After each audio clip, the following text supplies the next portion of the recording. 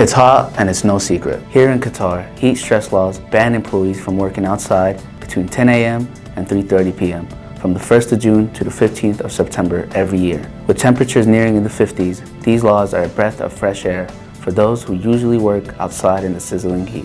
Or are they? The law also says work must be stopped when the wet bulb globe temperature reaches 32.1, wherever, whenever.